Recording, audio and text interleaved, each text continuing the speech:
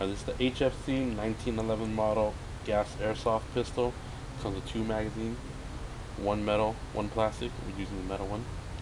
Has a 13 round capacity. It has a functional safety. Made in Taiwan, non blowback.